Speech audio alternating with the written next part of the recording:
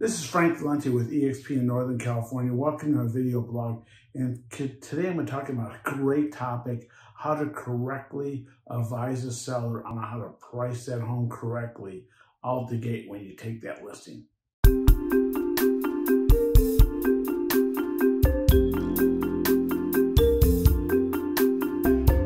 Okay, so you got a great lead on a listing. You got a chance to get a listing the market's changing and the worst thing you can do is take an overpriced listing.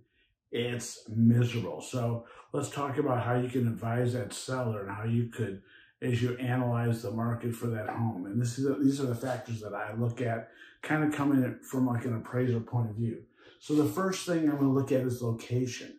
And as i pull my comparable homes i want to get that radius of homes as tight as possible so say an urban area, dense populated homes, probably looking at under a quarter of a mile. Maybe a, a, a suburban area, half a mile to another mile.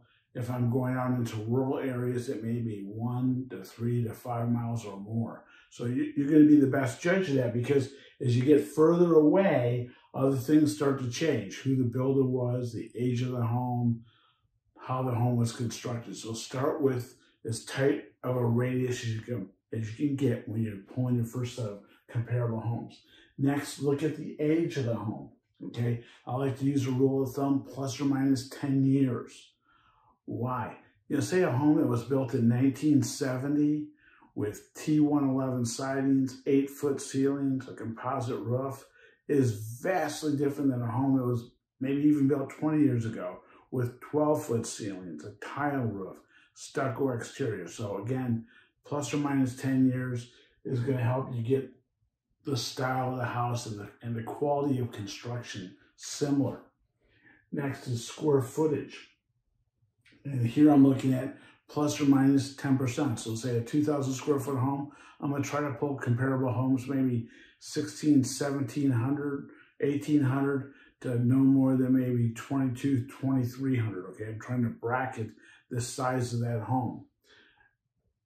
Condition, okay? If you see a home and it has a lot of deferred maintenance, repairs, you have to discount that going out the gate. You have to in today's market. And finally, is going to be the timing of when that home is going to hit the market and what's going on with the market for that home and when you get the home on the market. Is there lots of other homes? on the market. There's more homes coming on the market. So you got to, you want to be leading the market. Okay. As the market's changing, you want to be ahead of the market, not behind the market. If you got questions on this, please call, text, or email and have a great day.